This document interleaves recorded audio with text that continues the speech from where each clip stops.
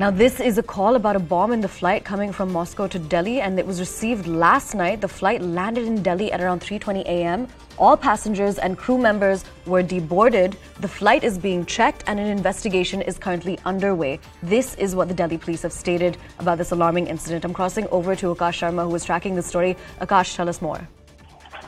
So, Aisha, you see, uh, this is uh, a flight that was coming from Moscow to Delhi, and it has landed. And, you know, late in the evening, a call was received after its departure from Moscow that, uh, you know, there can be a bomb in this particular flight, a bomb scare call. This is what we call it. And, you know, the flight as of now has landed in Delhi and uh, the investigation and also the checking process is underway. We are we have been given to understand that there were total 386 passengers on board, including uh, 16 crew members as well, and all are safe. And as of now, checking is still going on. Delhi police has confirmed the piece of information and uh, has maintained that, uh, you know, everything is under control and everything is safe as of now. It can be a hoax call as well, but, uh, you know, uh, given that this call was received late in the evening, so uh, everyone was ready at the airport as well, and this uh, particular flight, you know, got landed here at 3:20 a.m. as you rightly mentioned on runway 29. Everything is safe and the checking process is still underway, Aisha. Has a bomb squad been called in by any chance?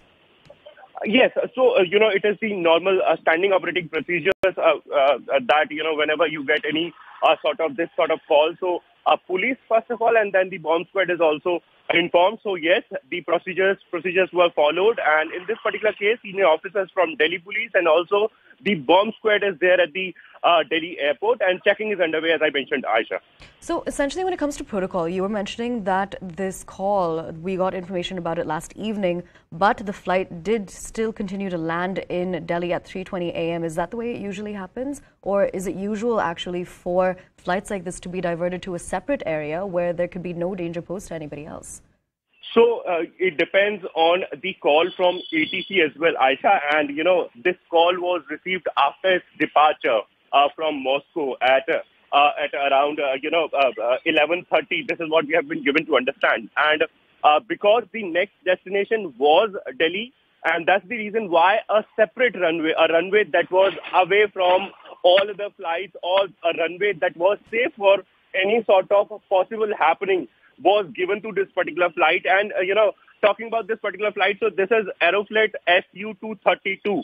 Aeroflot is the company, airline company, and uh, we have been given to understand that this call was received after the departure from Moscow and the next destination was Delhi, and that's the reason why a runway was chosen and it was decided that, okay, this flight will be landing here in Delhi. Yes, uh, you know, uh, SOPs were followed and also uh, because it was a passenger flight, so, uh, you know, a separate runway was given for this particular task and this flight landed safely and all passengers are safe. This is the big release in this particular case, Aisha. Absolutely. Akash, thank you so much for joining us and giving us those details. We will continue to track this developing story. It's good to note that all of the passengers and crew members have essentially been deboarded and are all currently safe. Now, shifting focus to